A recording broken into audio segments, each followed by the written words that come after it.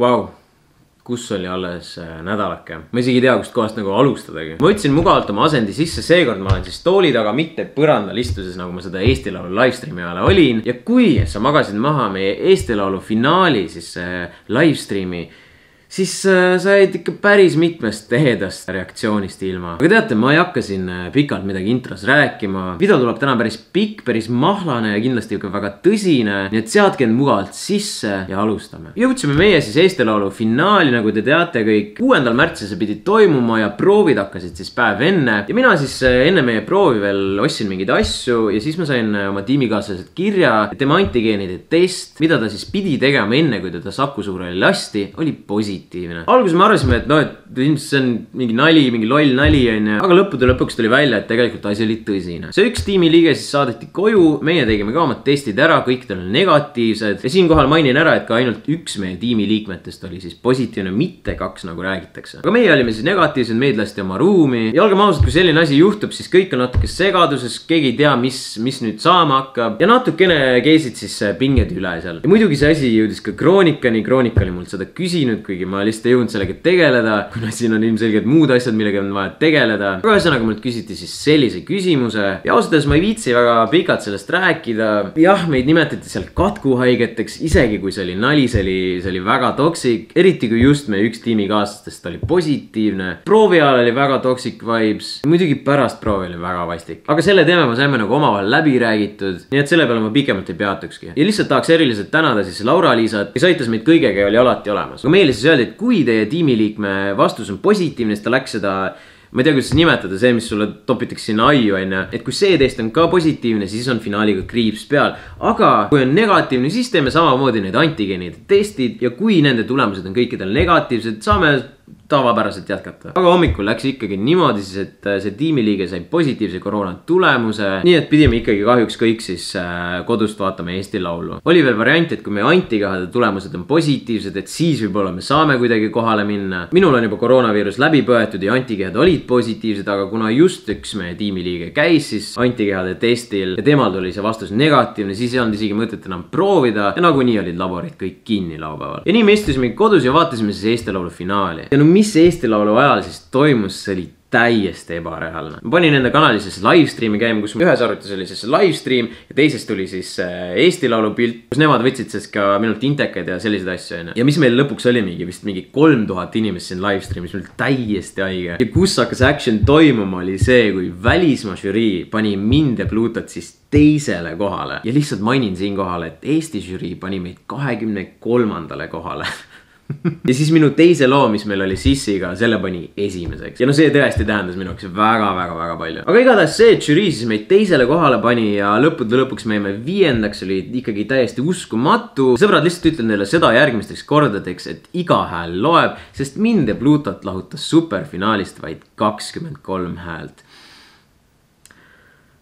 aga no sellegipoolest me oleme, me oleme ikkagi väga rahul selle tulemusega, me absoluutselt sellist asja ei ootanud. aitäh meie kogu tiimile, aitäh kõikidele, kes hääletasid, kes toetasid, täiesti unustamatu kogemus. ja muidugi palju õnne ka Sissile, kes sai teise koha ja Ukule, kes siis võitis selle asja, aga no Ukult vast reaktsiooni ei saa, ma arvan sest no reaalselt ma vist, ma vist olin rohkem õnnelik, kui ma sain žüriilt ühe punkti, kui Uku selle peale, et ta võitis Eesti Laulu. aga nüüd on siis see koht, kus lähevad asjad actually põnevaks ja mille pärast paljud siin ilmselt ka on. järgmine päev helistatakse mulle kuskil lõuna paiku, ma ise samal ajal rääkisin telefoniga, nii et ma ei saanud kuidagi neile vastata. ja siis juba hakati helistama teistele ja kolmandatele ja siis sain mina juba infot teada, et uuritakse siis eilse peo kohta, mis meie stuudios toimus. ühesõnaga Õhtuleht hakkas seda teemat siis algselt uurima. Instas olid mingisugused story'd eelmisest õhtust, mis äh, siis neile vihjati ja ilmselgelt võtsid sellest kinni kohe. ja suht kiirelt panid nagu asja üles ka ja muidugi see teema läks kohe huugama. et kuna seal olid avalikkusele tuntud inimesed, see oli ideaalne koht ajakirjandusel kohe siis need inimesed ette võtta ja neid confront ida. siis muidugi võttis Elu Vaskeneli selle ette ja siis äh, muidugi võttis ka minu lemmik Kroonika selle ette. ja eilse seisuga ehk siis viis päeva pärast seda jama on tehtud kakskümmend kaks artiklit sellest teemast. kogu meedia, raadio,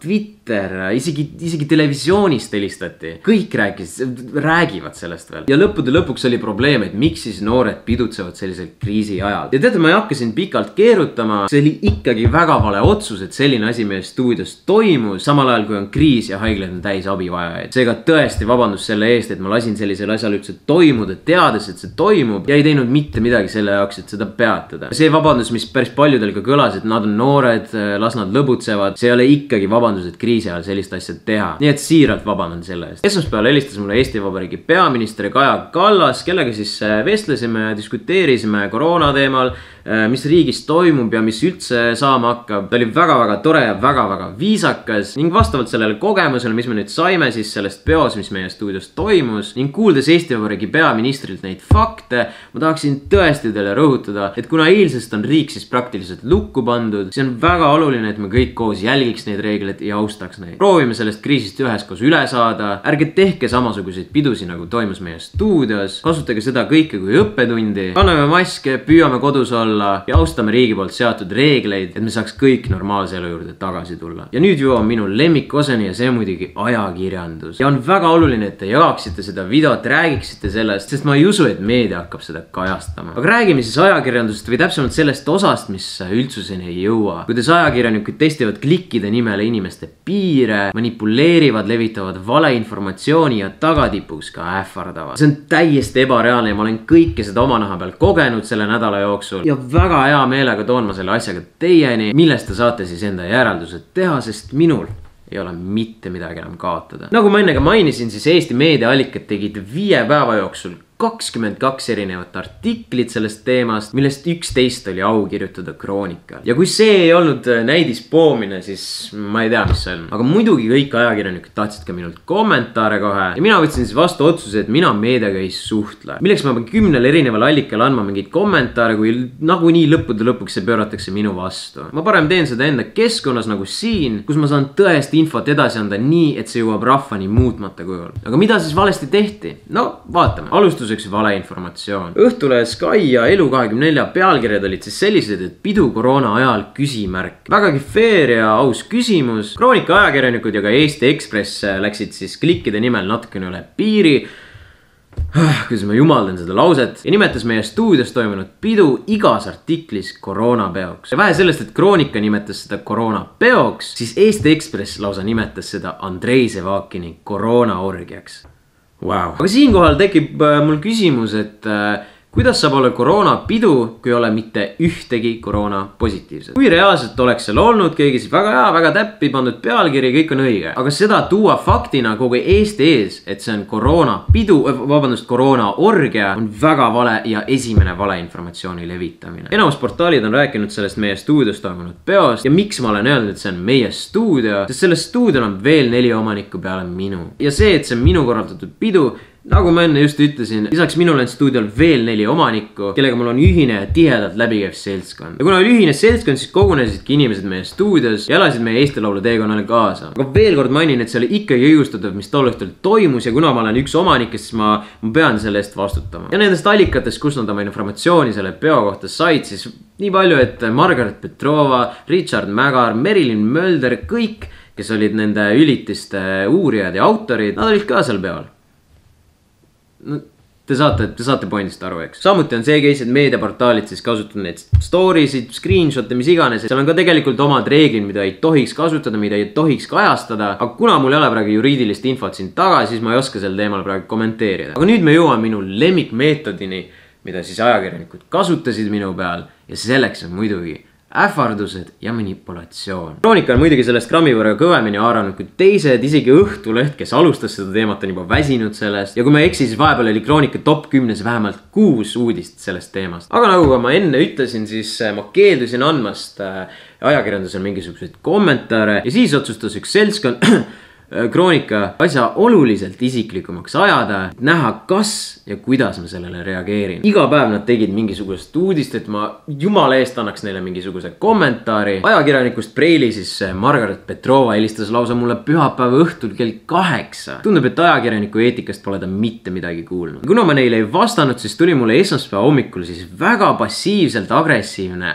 ähvardav kiri Richard Mägarilt, mida muidugi ma hea meelega teiega jagaksin. nagu näha, siis ajakirjanik Richard Mägar arvab, et ma olen kohustatud talle mingi informatsiooni jagama ja ähvardab mind siis sellega, et kui ma talle kommentaare ei anna, siis uurivad nad seda asja niimoodi, et see võib paljudele osapooltele halba tekitada. ehk siis samal ajal ta ähvardab mitte ainult mind, vaid minu sõpru, minu pere, minu tuttavaid ning samuti manipuleerides soovib minult mingisugust vastust saada. nagu ta ka lubas, siis ta uuriski inimestelt selle kohta, algselt küsides, et ta on minu pärast mures, et kas tal on kõik okei okay. ja kujutage ette, ta lihtsalt mingi viis päeva järjest paugutada selliseid uudiseid kroonikasse ja siis sa veel julged mult küsida, et kas mul on kõik okei okay,, et ma muretsen su pärast. ja siis ta lisas natuke vürtsi oma ähvardustele juurde, öeldes, et väga nõme, et ma ei vasta ja et ainukene viis, kuidas teda kätte saada, on ilmselt see, kui ta tuleb mulle ukse taha. ja samal ajal, kui ma praegu seda siin filmin, täna on neljapäev, oli ta Merilinile kirjutanud täpselt samasuguse ähvardava kirja kallis põrunud klubi omanik ja kroonika ajakirjanik Richard Mägar, ma olen mitte midagi kohustatud sulle kommenteerima, mitte midagi kohustatud sulle rääkima. ma saan aru, kui ma kirjutaks politseist või mingi kohtust või kui Kaja Kallas slaidib mulle DM-idesse onju, siis on juba teine teema. aga kui seda teed sina ja eriti veel siuksel viisil, no mul on ainult üks asi selle peale öelda. Wait a minute.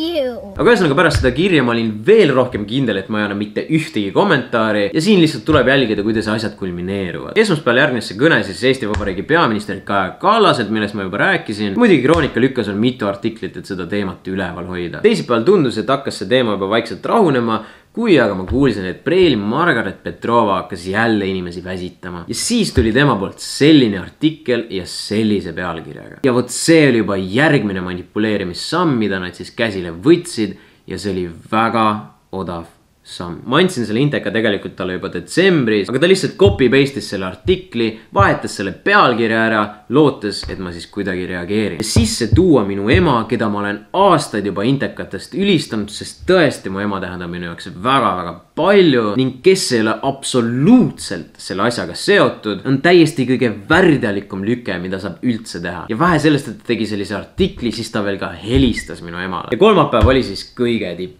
ärkasin siis selle peale, et Eesti Ekspressi tuli selline uudis ja veel pealekauba see oli välja prinditud ajalehes. perearsti poeg koroonapeolt Eesti Laulult ja Jõgevalt. ja kirsttordi peale minust tehti ka karikatuur, kus ma siis rõõmsalt toon teile Covidit. väga huvitav, et ainukese faktina, mida nad siis äh, minu kohta kogusid, oli see, et see toimus meie stuudios, kus mina olen siis üks viiest sellest omanik, aga ikka otsustab härra Mattias Kalev teha väga detailse artikli minu eluloos, nagu see veel läks full in, ta lihtsalt kirjutas, kus ma elasin, kus koolis ma käisin, kus ma reisisin, nagu sel tüübil oli kõik kirjas, nagu võtke see tekst ja pange see Vikipeediasse ja samuti aitas teda Aivar Juhanson, kes rikkus väga ilusa karikatuuri valeinfoga ära. ja jällegi tuli härra Maitas Kalev välja samade vigadega nagu minu sõbrad Kroonikas. väidab, et on koroonapidu, koroonaorgia kus on koroona positiivsed. ütleb, et ma olen koroona Andrei, kuigi mul on värskelt tehtud negatiivne koroonatest koos positiivsete antikehade testiga ja see on fakt. peokorraldus Sevakini stuudios, sellest me juba rääkisime ja veel see lüke, et härra Mattas Kalev nagu ka Margaret Petrova tõi pealkirjas välja minu ema. samuti ta proovis teda kätte saada ja selle peale ta kirjutas, et ma ilmselt ei saanud teda kätte sellepärast,